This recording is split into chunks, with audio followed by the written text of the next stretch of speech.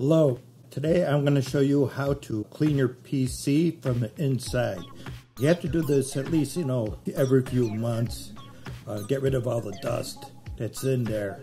When you first get started, you first make sure you log off, sign off, and you power off. When you power off, make sure you unplug it, okay? A few seconds and you could open it up here. I'll show you. A lot of uh, most PCs are built the same way. They're either like a, a couple screws they need to take out or a latch that takes out the panels. This one just has four screws, right? That's. Take a brush. When you see dust, you could do this, you know, every every week. You could just do it like that to get some some of the dust out. Because you need to clear the um the path. It has it has to breathe. The fan has to get in you don't want to like take a vacuum and blow an air in there or an air can because you're just blowing in dust into the circuit board. You don't want to do that.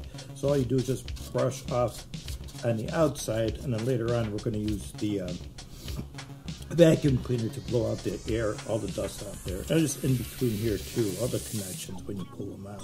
It's also a good idea to clean the um, USB connection because they could get um, dirty and it could be filled with dust. So I just pour that in a little tray so you could control the amount, just cleaning alcohol. I like to use Q-tips. This way you can control the flow, that we don't get too much on there. And you go, this is where all the connections are. Sometimes they get dirty and the contacts doesn't want to, this, could be a fix too if you have problems with the mouse, keyboard connection. Make sure that's all cleaned up inside there. Things we can open it up. Should just slide right out. There you go. You want to look at it uh, this way. What we're going to need to do is, here's the fan, and this is the power supply fan. There's also a fan here, so you want to clean this area. And I'm going to use a vacuum cleaner. I'm going to use it um, the opposite way, so it blows the air. You don't want to, you know, suck it in. just want to blow it all out. All right. All right. Here we go. You can see, you can see some of the um, coming out of it. There you go. You want to get that all out.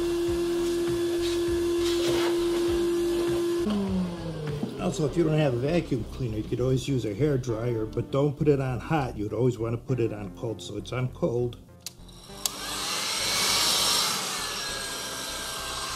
There you go. You can blow it up like that.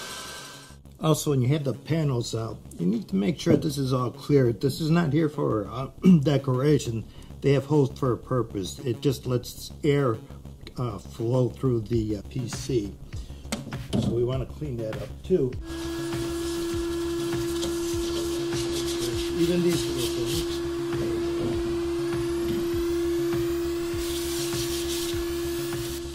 This is for the Apple people.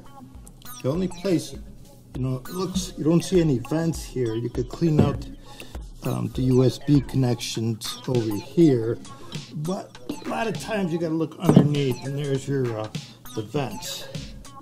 That, you just gotta wipe that up.